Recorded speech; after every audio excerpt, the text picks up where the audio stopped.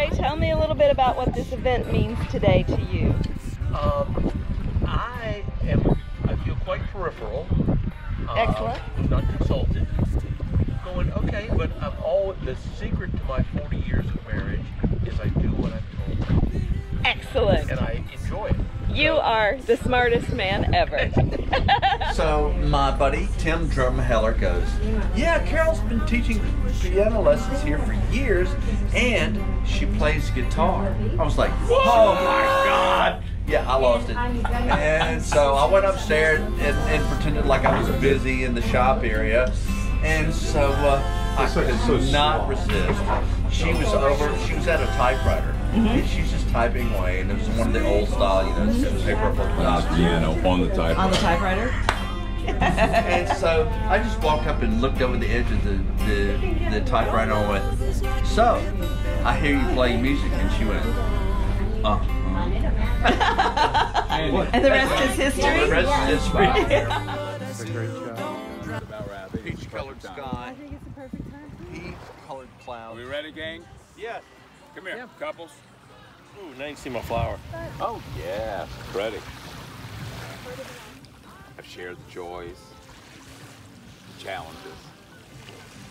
Remind you that you have to stay with you found. I wear this ring you placed on my hand.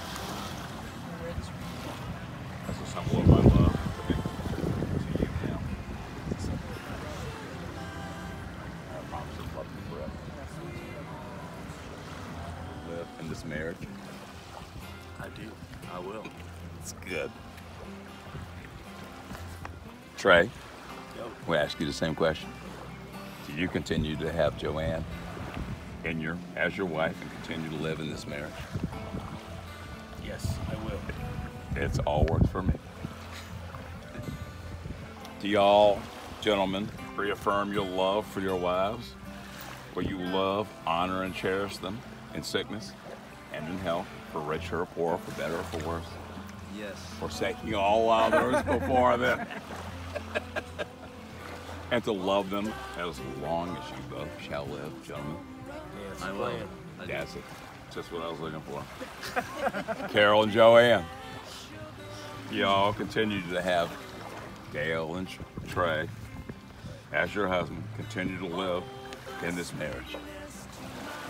I do. We will. You do? We will. You reaffirm your love for them? Will you love, will you honor, will you cherish them? In sickness and in health. For poor, richer, better or worse, forsaking all others, be faithful to them as long as you shall live. I do believe they do. So, Sugar, my